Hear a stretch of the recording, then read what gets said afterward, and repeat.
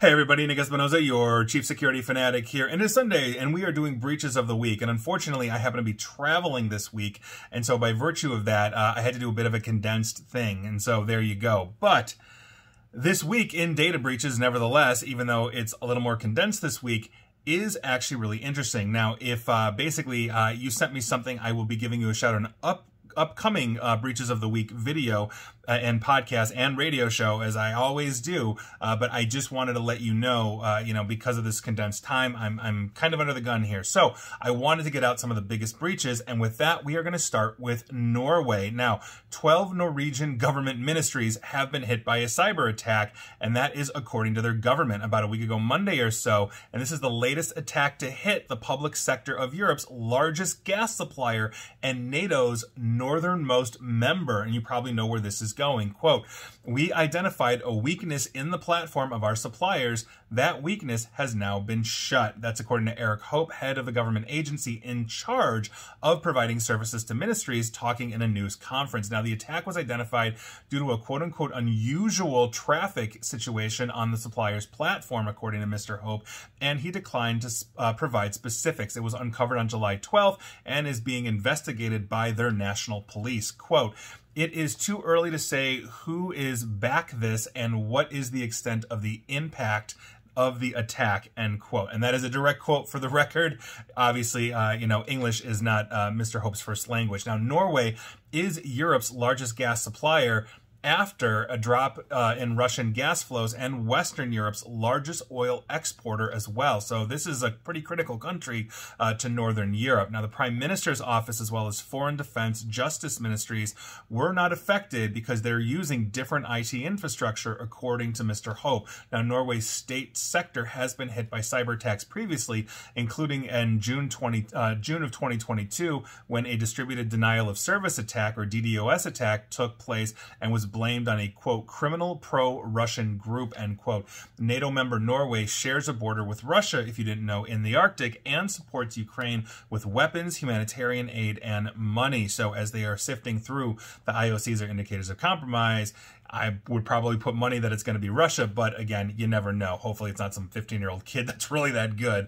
We will see. Moving on, let's head on over to China and talk about the Wuhan Earthquake Monitoring Center. They're claiming a cyber attack or do they actually have one? Now, here's what's going on. They got hit by a cyber incident, apparently, um, perpetuated by a hacker group with a, quote, overseas government background, end quote. That is according to the Global Times. Now, if you didn't know, the Global Times is owned by the Chinese Communist Party, and they reported this on July 26th that the Wuhan Municipal Emergency Management Bureau revealed that the monitoring center had been subjected to a cyber attack by a, quote unquote, overseas organization. In its statement on Wednesday, July 26th, the Bureau said the Public Safety Center immediately sealed off affected equipment and reported the attack to authorities. And again, according to the Global Times, the newspaper also claimed that, quote, preliminary evidence suggests that the government-backed cyber attack on the center came from the United States end quote. It said that a basically a Trojan horse program originating from abroad had been discovered at the Wuhan Earthquake Monitoring Center as confirmed by the Jianjiang Sub Bureau, a public security bureau. And that's all the information we have on that right now. So, uh, you know, basically is a hacking group uh, connected to U.S. intelligence hitting the Wuhan or, uh, earthquake center. You tell me, but if you believe communist Chinese government newspapers, it absolutely is happening. I will let you decide that one. Moving on, let's head over to the United States and talk about our westernmost United state, uh, unless that's Alaska, in which case it's our second most western United state, and that would be Hawaii. Now, a ransomware attack on the Hawaii Community College Network was first reported on June 13, and apparently it has been resolved after determining that compromised data most likely contained personal information of approximately 28,000 individuals the University of Hawaii made the difficult decision to negotiate with the threat actors in order to protect those who had been compromised. A significant consideration in this decision-making process was that the criminal entity responsible for the attack has a documented history of publicly posting the stolen personal information of individuals when agreements uh, with the impacted entity was not reached. So it's probably like the Play Ransomware Gang, Clop, or any one of the millions of those out there. Now, working with an external team of cybersecurity experts, the, uh, the University of Hawaii reached reached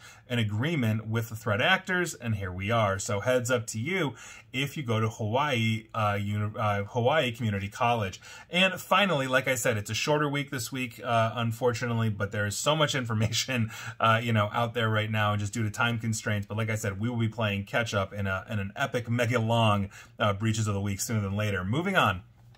Our finally today is MOVEit. And the reason why it's MOVEit is because this just keeps getting worse and worse. We are now, according to reports, up to at least 455 disclosing companies. And so I went ahead and went searching and found a whole bunch of different uh, entities that had been hit. So first up is U.S. government Medicare services contractor Maximus, who has disclosed a data breach warning that attackers stole the personal data of 8 to 11 million people. On top of that, we have uh, Pacific Premier Bancorp, Allegheny County in Pennsylvania, Harris Health System, the University of Texas Southwestern Medical Center, Acellia Global Limited, Sovos Compliance, John Hopkins or Johns Hopkins, all Children's, Indiana-based First Source Bank, Kennedy Krieger Institute, also affiliated with Johns Hopkins apparently, and DHL, the large uh, carrier competitor to FedEx and UPS. Now, on top of this, the Clop ransomware gang, the one that's been hitting, just went to work as fast as they could, may earn as much as $100 million US from this extortion campaign after basically a good chunk of victims started to pay the group large sums of money, and that's according to, according to Coveware, who has been tracking them. So obviously this is a big issue here, uh, you know, and it continues to be incredibly lucrative, and because companies pay, why not keep hitting it? And because cryptocurrency, you, you there in terms of some cryptocurrency, still has the ability to obfuscate its its blockchains, its its transaction history, it just makes sense that it is I don't want to say the perfect crime because you're you're damaging so much stuff, but it's so easy to get away with. And don't get me wrong, we do find and we do arrest these people over time, but the damage that is left in their path over years of tracking them down, I think, is horrible. So there you go. That's your quick breaches of the week. Like I said, we'll be back uh, soon with a full blown breaches of the week, but those are the big ones that I found most interesting, and I hope you did too. And please like, share, follow me here on Facebook and Twitter at NickAESP. And please feel free to subscribe to me at YouTube as well. And as always, stay safe, stay online, and please attempt to stay private. Thanks, everybody.